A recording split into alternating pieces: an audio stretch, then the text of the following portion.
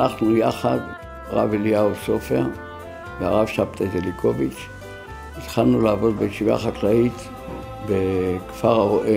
לימדנו שם שלוש שנים, אחר כך הלכנו והקמנו ישיבה תיכונית בנגב, בכפר מימון, בי"ט התחלנו בכפר הרועה, בכ"ט הגענו למבשרת ממש עשר שנים אחרי כן.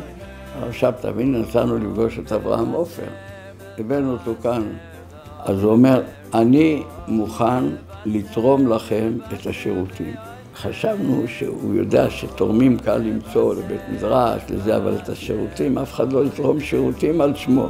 הוא התגלגל משחק, הוא כמעט נפל מה, מהכיסא. אומר, השירותים זה הכוונה, כל הפיקוח על הבנייה.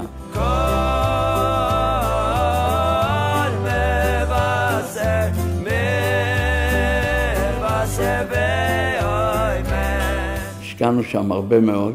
דבר ראשון, הלכנו לאסוף תלמידים לכיתה ט', הלכנו לכמה ישיבות, לנתיב העיר, לכפר רועה. התחלנו שם בבניין עם 47 תלמידים. קיבלו כאן ראשית כל תורה. למדו כאן תורה מפי הרבנים שהיו כאן, תורה של ארץ ישראל. בעצמי הבנתי שצריך סבר פנים יפות אל התלמיד. אנחנו הגענו לכאן לפני 32 שנים, הגענו בשלב ראשון ללמוד, חיפשנו מקום לימוד. אז הגענו לכאן, למדנו כאן בבית מדרש למורים, בכולל מרץ.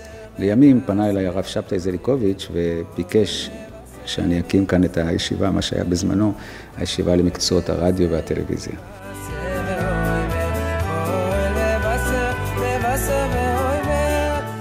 אם יש משהו שיש בי של אחדות, אהבת הזולת, זה מהחינוך שקיבלתי מישיבה החקלאית, מהר"מים שהיו.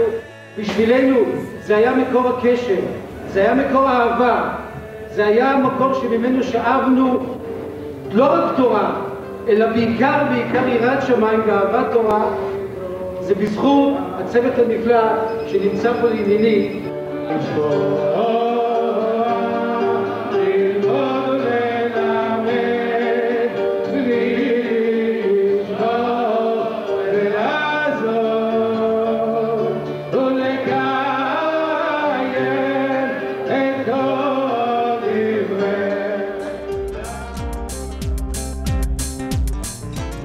בעזרת השם רופא או מוזיקאי.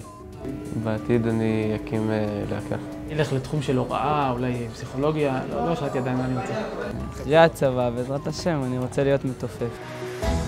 הישיבה הייתה עבורי בית, מקום מכיל ועוטף, שידע לקבל אותי בדיוק כמו שאני ולהרים את התכונות החזקות שבי. רק אחרי כמה שנים מאז שעזבנו את הישיבה זכיתי להבין כמה עומק היה בתוך הדברים שקיבלנו, ואין ספק שאני חווה אותם עד היום, אז תודה רבה. כל מבשר בשבילי, דבר ראשון זה בית, זה משהו חי, משפחתי, מיוחד. זה מקום שהצוות אוהב אותך, דואג לך, מחפש את כל הדרכים שתצא הבן אדם הכי טוב שאפשר. הישיבה עזרה לי לגלות, להכיר, לפתח את הכוחות שהקדוש ברוך הוא נתן לי, ולשאוף גבוה הן בתורה, הן במקצועות החול, למרות הקשיים.